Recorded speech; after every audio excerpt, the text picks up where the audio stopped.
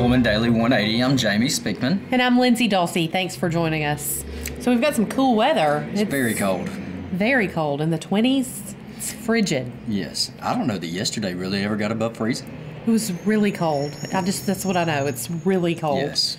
Too cold for Alabama. Absolutely. This kind of weather, you should be like playing in snow somewhere for sure. Yes. Well, I'm sure if it rained right now, there would be a lot of snow for us to play. Actually, this morning I was up early and I went outside, took the dog outside, and when I went outside, there were a few flakes in the air. So, um, I think definitely we would have snow if yeah. we had any precipitation. But we never get those at the same time, really, yes. around here. I don't know. I don't know if we're going to just have to pay the weatherman. I mean, what what do we have to do to get snow? we need some snow.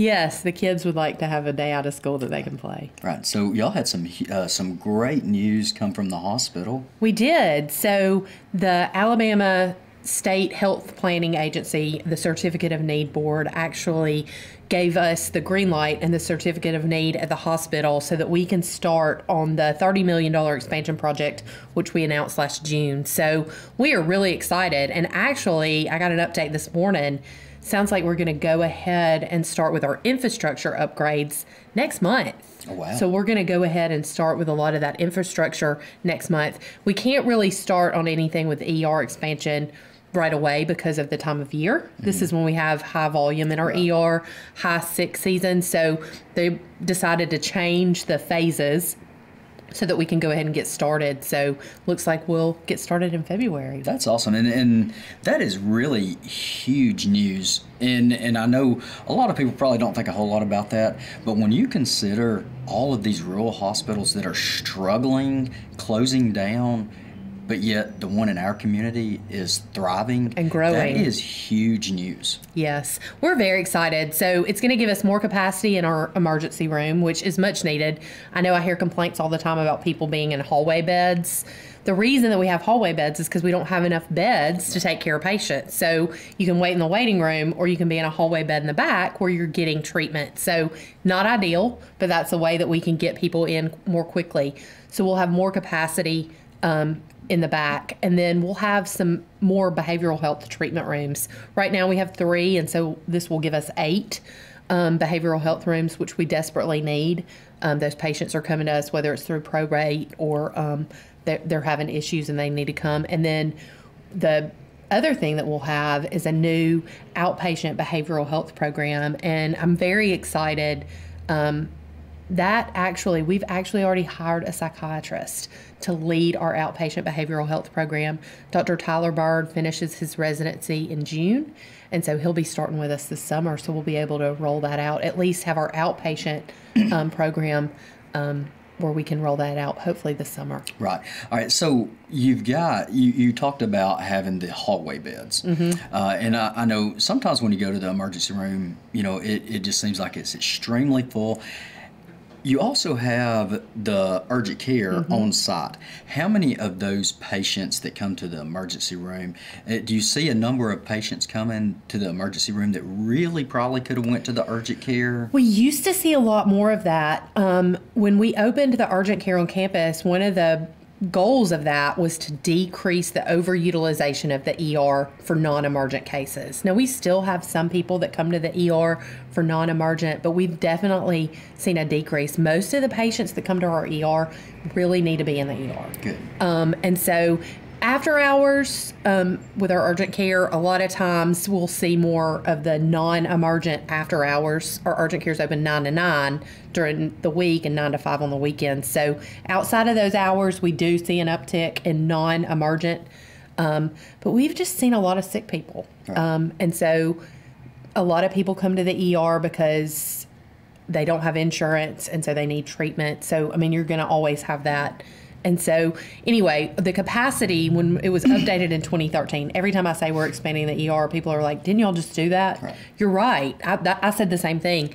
So, it was updated in 2013 to add capacity up to 45,000. We're at nearly 50,000 patients a year in our ER. So we're already five about 5,000 patient visits a year over the capacity that it was built for. So, in order to not have hallway beds, because nobody really likes that, I hope that we can get rid of them forever. But you build it and they will come. I always say the every time we expand the ER, it seems the we get more patients. So hopefully not. Hopefully it'll um, will be at a good point and um, we'll have overbuilt a little bit. Right. Um, It's so always a good thing. It is. So I'm just really excited. I think it's great for our community. It's wonderful for our hospital.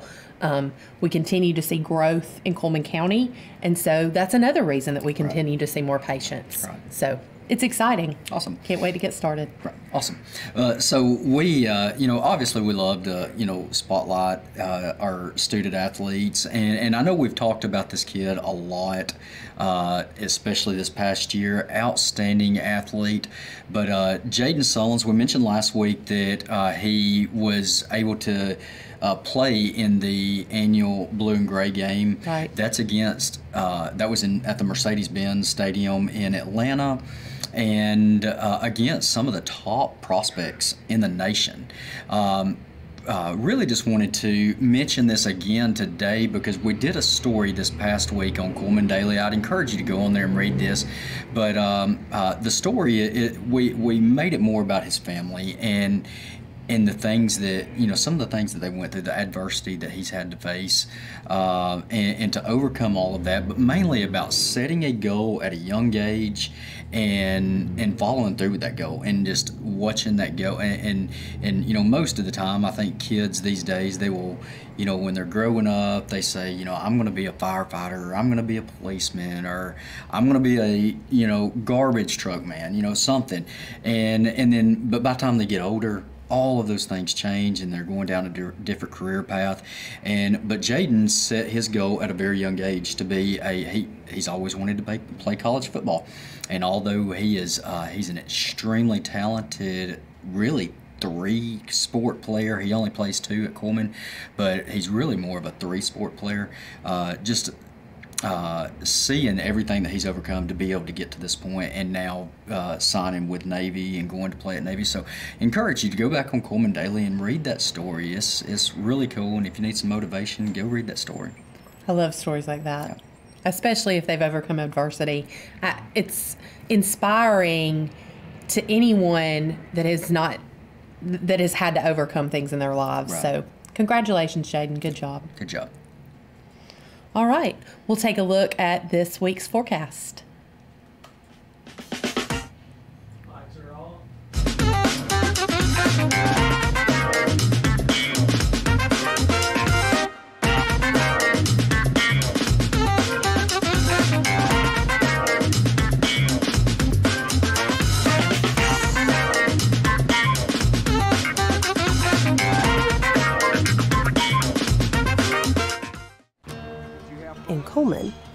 Looking forward to more play dates and date nights, first checkups, and checks on the bucket list. We're looking forward to first looks and second chances, and we're looking forward to making these moments possible with the benefits of better technology and the insights of leading experts. We're looking forward to a healthier Cullman. Premier Bank of the South currently offers a variety of school spirit debit cards. These are available to all of our customers and they're free of charge. Stop by one of our offices today and get yours ordered. For a listing of our school spirit debit cards and our office locations, please feel free to visit us at www.premierbankofthesouth.com.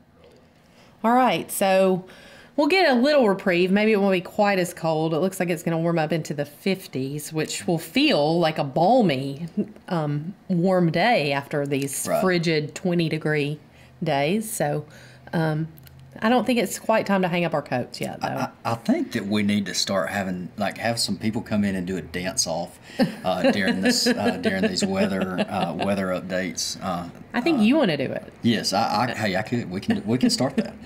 I'm gonna let I'm gonna let you do that. We can we can have people like top in and, and vote and see see who does the best. a dance contest during the weather. then they couldn't see the Yes. weather. Yes. So some uh, sad news out of the sheriff's office. Um, uh, Elaine Rayleigh, she worked for Cullman County Sheriff's Department roughly around 20 years, and uh, she retired a few years ago. Uh, but she had gotten diagnosed with cancer and uh, and eventually ended up passing away due to the cancer. So uh, keep the Rayleigh family in your thoughts and prayers, along with the sheriff's office. I know Sheriff Gentry and several of the uh, deputies there were very close to uh, Miss Elaine and uh, very sweet lady. I can remember even back 15 years ago some things that I was uh, when I was doing my other business I would have to talk to Elaine a lot and uh, always very helpful very friendly to uh, to talk to and deal with. And and she cared a tremendous amount about that jail uh, we have heard uh, success stories of people that was put in jail and that she talked to and uh, kind of helped mentor and they even once they got out of jail continued mentoring them and making sure they're on the right path and uh, so elaine was definitely um, one of a kind individual Absolutely. So prayers and thoughts with her family.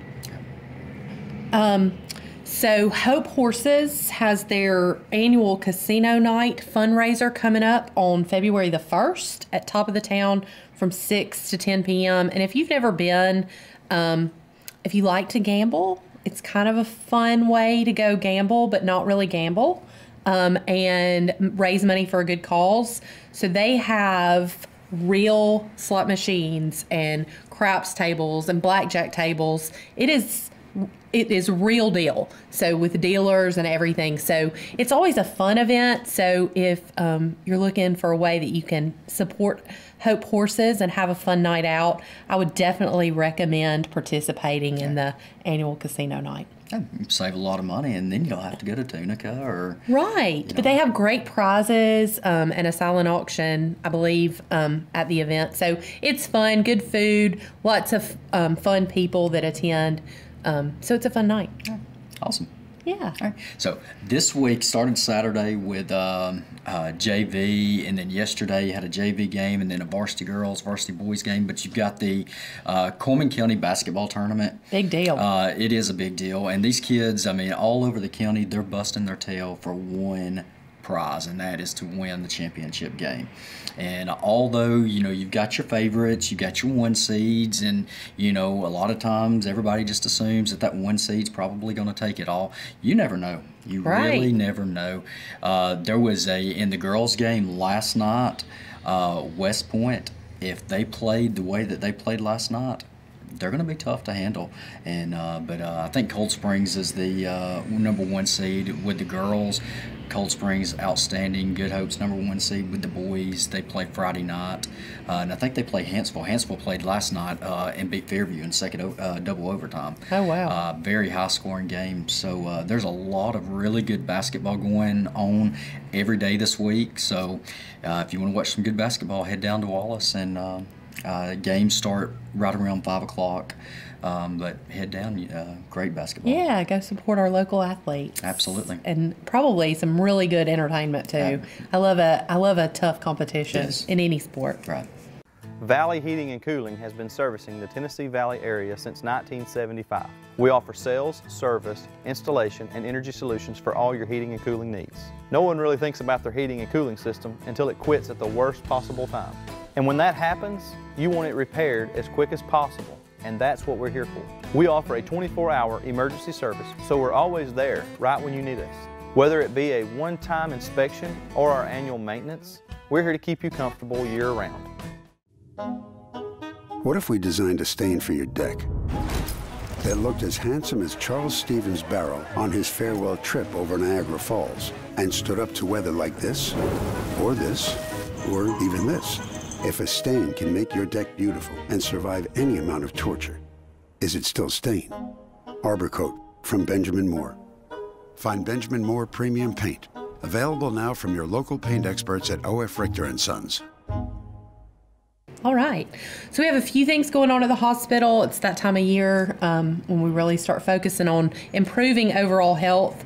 So um, our third annual Rock the Red National Wear Red Day um, Ladies Luncheon will be on Friday, February the 7th um, from 11.30 to 1 and it'll be at Loft 212. And if you want to come get information about better heart healthy eating, um, signs and symptoms of heart disease for women, um, health screenings. It's a it's a lot of fun. Um, so make plans to attend that. And if you want information, you can go to our website or you can call our office. Um, we have another heart um, education seminar in February on February the twentieth. We'll have Dr. Tracy Neal come and talk to us about a new test that we now have available through our imaging center with the new CT um, scanner that we have, you can actually have what's called a calcium scoring test. So, calcium um, and plaque are essentially the same thing. Mm-hmm. So, it's a CT of your heart and it tells whether or not you have a lot of plaque buildup, which shows whether or not you're at risk for a heart attack. So, if you're at immediate risk, I don't think you're quite old enough, Jamie, but um, about in your 50s, um, it's a great test to have. So you can come and hear Dr. Neal talk about what you need to know and if you qualify for that test. Does it count if I feel 50? I don't know. Maybe. I mean, okay. um, then we also have um, our prostate cancer screening. We have a free screening through our urology clinic on February 10th. You have to have an appointment for that. So, um, risk factors for prostate cancer are family history, if you are over the age of 40 um, and you're male, and um, if you're African American over 40, you're at higher risk. So if you fall into any of those categories, we encourage you to call and make an appointment for a free screening. And then our heart screenings, um, heart health screenings that we do in the Colonel Coleman room, those start back up on February the 6th. So, lots of chances to find out if you're at risk for any of this stuff to catch it before it becomes a problem. That's what we want to do. We want to catch it before it means an ER visit. So, uh, that's the purpose in all of these. So, Okay. all right. All right. That is all we have for today. Thank you for tuning in. See you next week.